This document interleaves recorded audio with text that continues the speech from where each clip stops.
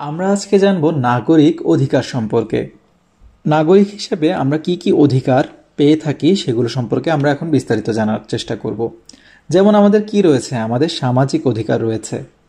বাংলাদেশের নাগরিক হিসেবে আমরা রাষ্ট্রের কাছ থেকে প্রধানত তিন ধরনের অধিকার পাই। যেমন সামাজিক অধিকার, রাজনৈতিক অধিকার এবং অর্থনৈতিক অধিকার। সমাজে সুস্থ ও সুন্দর জীবনযাপনের জন্য যেসব অধিকার অপরিহার্য, সেসব অধিকারকে আমরা বলি সামাজিক অধিকার। এই অধিকারগুলো রাষ্ট্র আমাদের দেওয়ার চেষ্টা করে। নিচের ছক থেকে কয়েকটি সামাজিক অধিকার জেনে নিই। আমরা এখন ছকটি দেখি। যেমন, বেঁচে থাকার অধিকার। আমরা রাষ্ট্রে যারা বসবাস করি, জীবন রক্ষার অধিকার, তাদের সকলেরই রয়েছে এবং সেটি হচ্ছে কি? অন্যতম অধিকার। আমাদের বেঁচে থাকার জন্য প্রয়োজন খাদ্য, বস্ত্র, বাসস্থান, চিকিৎসা ইত্যাদি সহ জীবনের নিরাপত্তা। আমাদের রয়েছে শিক্ষার অধিকার। শিক্ষা লাভের অধিকার প্রতিটি নাগরিকের একটি অন্যতম অধিকার। রাষ্ট্রের উন্নয়নের জন্য প্রত্যেক নাগরিকের শিক্ষা গ্রহণ করা প্রয়োজন। আমাদের রয়েছে ধর্ম পালনের অধিকার।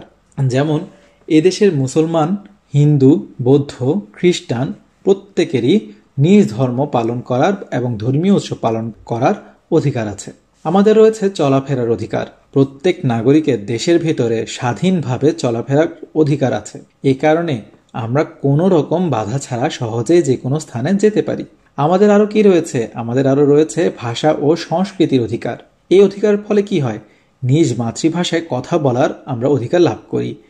তাহলে নিজ মাতৃভাষায় কথা বলা নাগরিকের মৌলিক অধিকার। একইভাবে নিজ নিজ সংস্কৃতি চর্চা ও উৎসব পালন করাও এই অধিকারের অন্তর্ভুক্ত। আমাদের রয়েছে রাজনৈতিক অধিকার, ভোটদান ও বিভিন্ন কাজের মাধ্যমে রাষ্ট্র পরিচালনায় এবং শাসন কার্যে নাগরিকদের অংশগ্রহণ করার অধিকারকে আমরা কি বলি? রাজনৈতিক অধিকার বলি। আমরা পাঁচটি রাজনৈতিক অধিকার সম্পর্কে এখন জানার চেষ্টা করব। যেমন নির্বাচনের অধিকার। আঠারো বছর ও তার উপরে সকল নাগরিকের ভোট দেওয়ার এবং পঁচিশ বছর বয়সে সকল নাগরিকের নির্বাচনে অংশগ্রহণ করার অধিকার আছে। আমাদের রয়েছে মত প্রকাশের অধিকার। প্রত্যেক নাগরিকের বাড়িতে, বিদ্যালয়ে এবং সমাজে স্বাধীনভাবে নিজস্ব মত প্রকাশের অধিকার রয়েছে। আমাদের আর কি রয়েছে? আইনের চোখে সবার সমান অধিকার রয়েছে।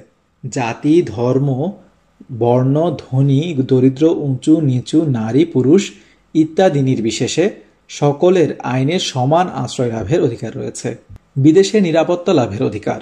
কোনো নাগরিক বিদেশে থাকা অবস্থায় বিপদে পা সমস্যায় পড়লে নিজ রাষ্ট্রের সরকারের কাছে সাহায্য চাওয়ার বা নিরাপত্তা দাবি করার অধিকার প্রত্যেকটি নাগরিকেরই রয়েছে। আমাদের আরও কি রয়েছে? ব্যক্তি স্বাধীনতা রক্ষার অধিকার রয়েছে।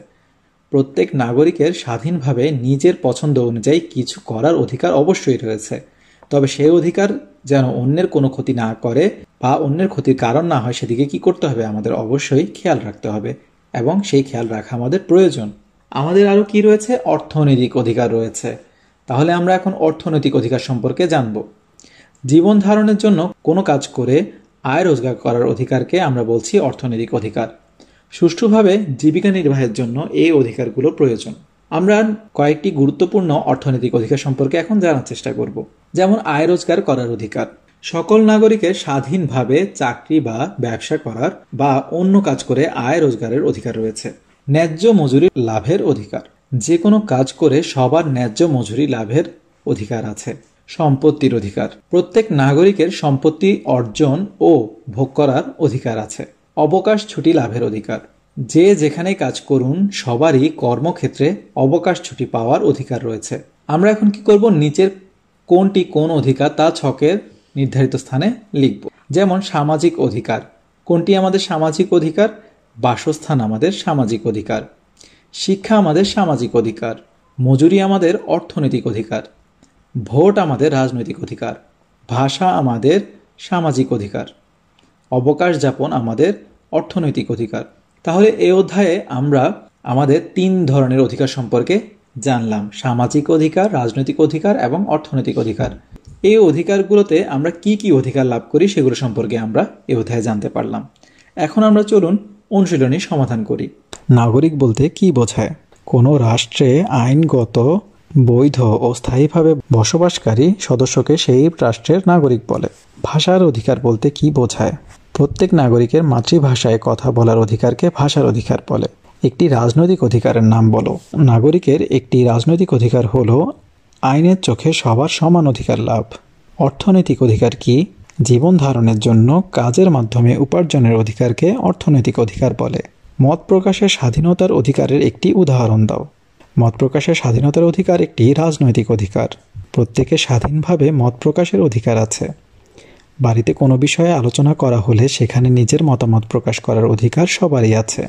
এছাড়াও সমাজে কোনো বিষয়ে আলোচনা হলে সেখানেও সকলে স্বাধীনভাবে মতামত প্রকাশ করে, যা স্বাধীনভাবে মত প্রকাশের অধিকারকে নির্দেশ করে। ন্যায্য পারিশ্রমিক না পেলে মানুষ কি করতে পারেন? ন্যায্য পারিশ্রমিক লাভের অধিকার একটি অর্থনৈতিক অধিকার। তাই ন্যায্য পারিশ্রমিক না পেলে মানুষ আইনের আশ্রয় লাভের মাধ্যমে পাওনা আদায় করে অর্থনৈতিক অধিকার ভোগ করতে পারেন।